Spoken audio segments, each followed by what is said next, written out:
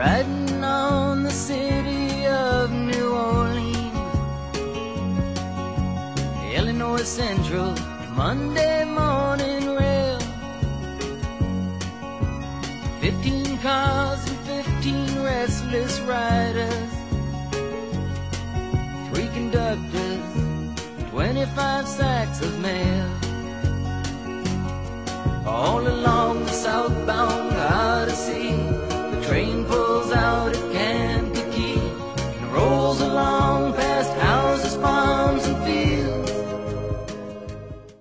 Hey guys, welcome back to another Jackson Pacific Productions. You know what this view means? Means that we're doing another layout update. First video of 2018. Um, been doing a lot of work on the layout. And just thought I'd give you guys an update. So, first off, if you can't see, we have a fourth DPM building with a larger parking lot, and that is the turret building, which is the um, light blue and orangish, look, orangish looking building on your left, next to the red one. Now I haven't weathered it yet. I got it all together and I still have not found um, some um,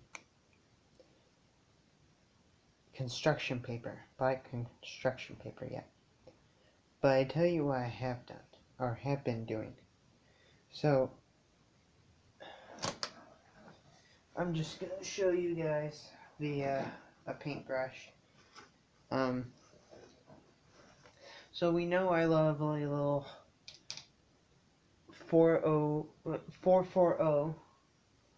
Um, she's not glued down to the track, but the track has been glued down. And we got a tree here, tree there, bushes here, all along here, here, and here.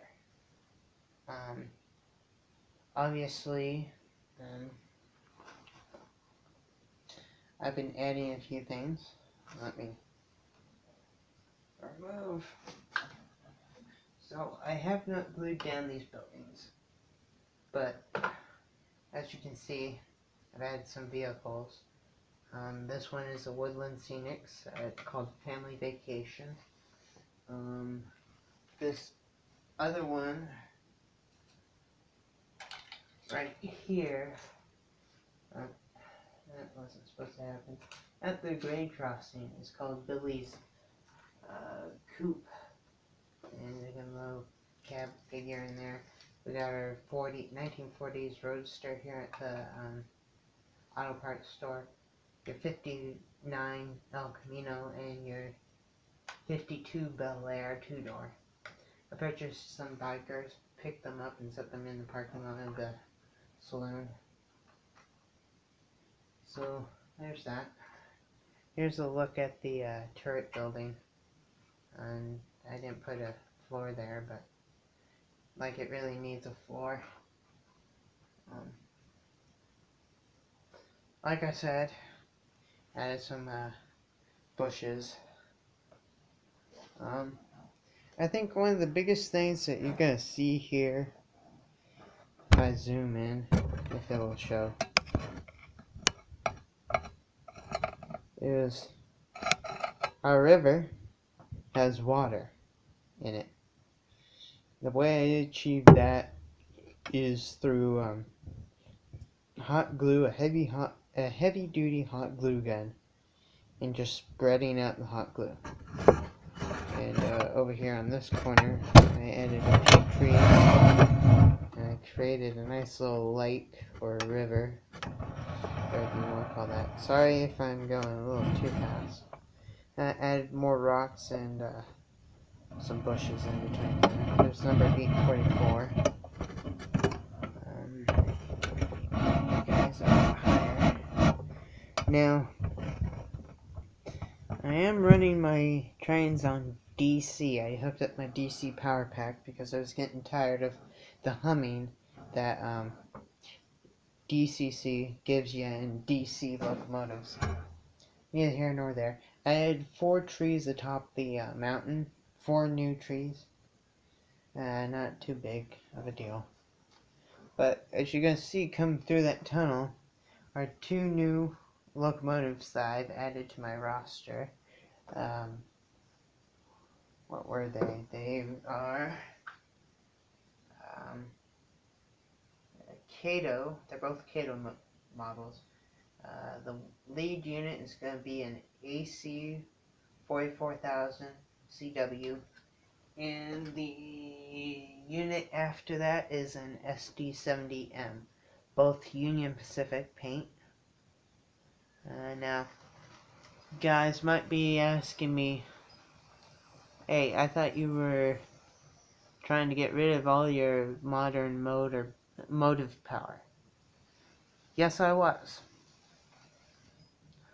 And then I took a trip down to hobby store to pick up a few detailing items, including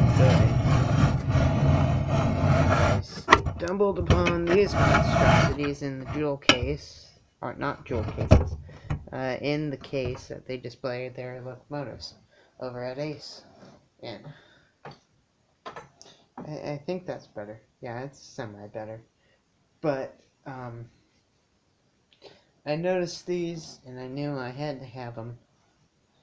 Um, so those two are new, nothing new as far as rolling stock. I did get a nice little three drawer container that I can store my rolling stock, engines, and then detailing and um, weathering and scenery stuff in. Now, it's a lot to take in. Um, Tuesday, tonight is Saturday night.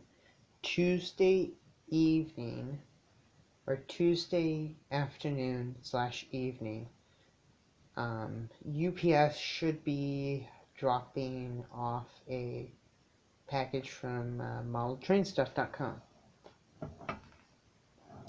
And uh, in that package, I'll tell you guys, um, is the Union Pacific Excursion set, the Southern Pacific Daylight 10 car set, and then I also got SD70 ACE number 88444.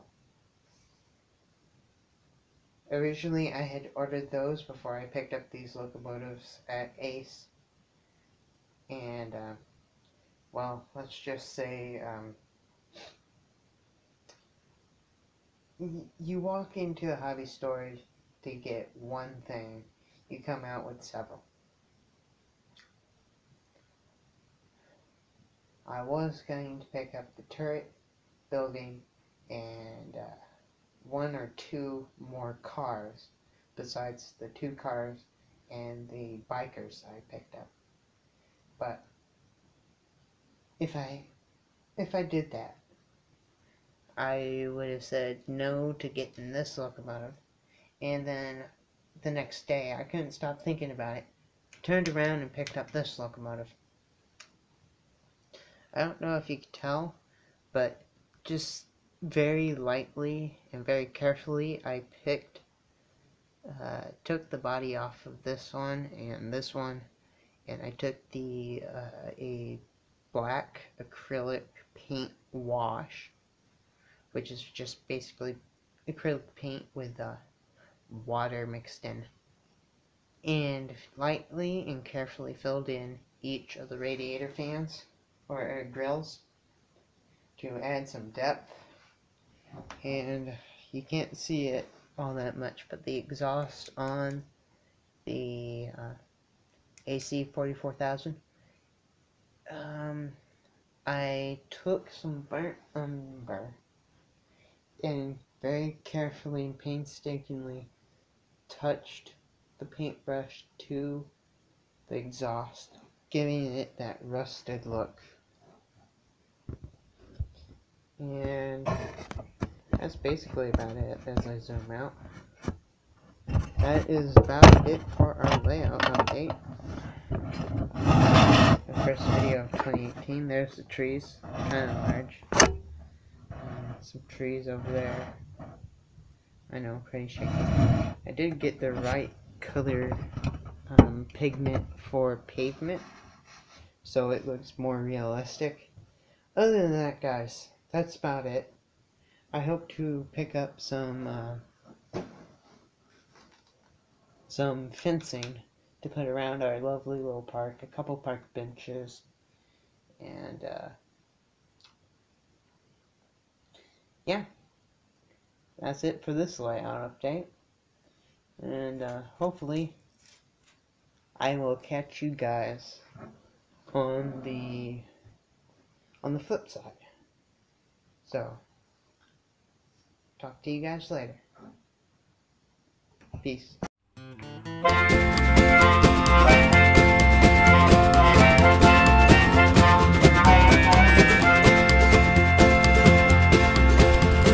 Listen up, my friends, won't you lend an ear? Take about the biggest steam engine in the world.